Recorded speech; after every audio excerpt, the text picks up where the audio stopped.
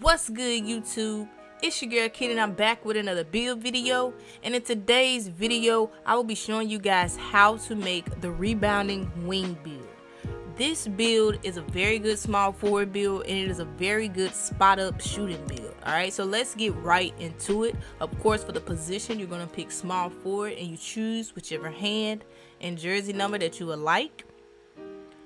And for the pie chart we're going to go down to this pie chart right here the red and green pie chart okay? And for the physical profile we're going to go with this one right here the last one.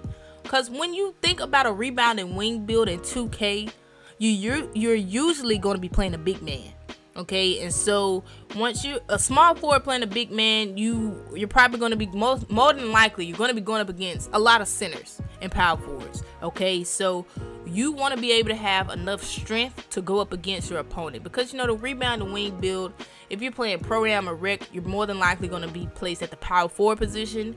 And a lot of people use the rebound and wing to be the big at park. So that's some things you should keep in mind once you're phys picking your physical profile pie chart, okay? So for the finishing, we're going to max out pretty much everything except for post hook. That gives you seven finishing badges.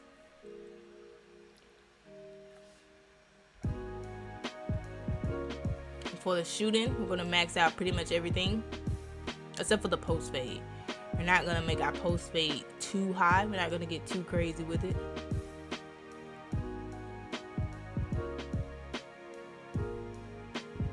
Alright, for the post fade, we're to leave that at 56. That gives us 16 shooting badges. And for the playmaking, we're not to touch. This is not a dribbling build. It's not a playmaking build. For defense, we're to max out pretty much everything.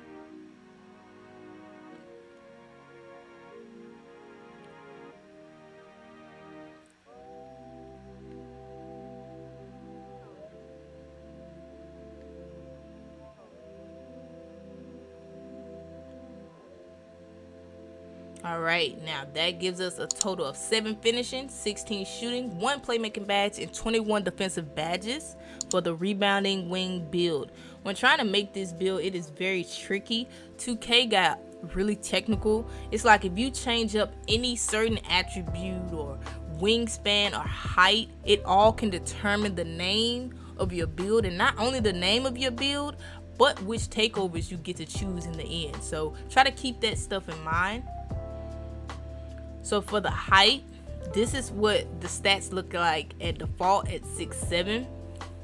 Personally, if I was making a rebounding wing, since you're going to be playing the big man, I would recommend making this build six eight or six nine. At 16, you get pretty big hit, but it's still manageable. But for the sake of this video, we're going to go with six nine. And for the weight, anything between 220 to 240. I think we're gonna stick it right here at 234. And then for the wingspan, remember I was telling you earlier, wingspan determines which takeovers you get to choose in the end, and sometimes even the name of your build. All right, so this is at default. At default at 6'8, these are the two takeovers that you get to choose from at six seven no i'm sorry at six nine these are the takeovers you get to choose from. At six eight and six seven height you might might be able to choose different takeovers but at six nine that's the default takeovers. If you decrease the wingspan some to give you a boost back to your shooting you see you get to choose sharp takeover if you wanted to as well but i do not recommend doing that because this is a defensive build and it hits you on the defensive end so, alright, so if you increase your wingspan, you see your finishing stats go up and you take a small hit. You do take a few point hit towards your shooting attributes, but you get a big major hit for your defensive and your rebounding attributes. So that's what it looks like at max. But for the sake of this video, you do also have to consider with the plus four that you get for reaching 99 overall, you're going to get those stats back.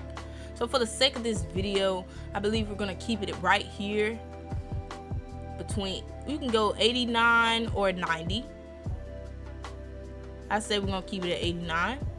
And then we're going to choose the lock takeover.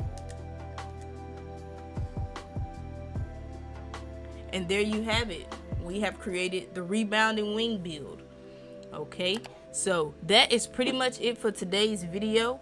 Make sure you leave a like comment down below subscribe to the channel if you are new and don't forget to hit that notifications bell. Thank you all for watching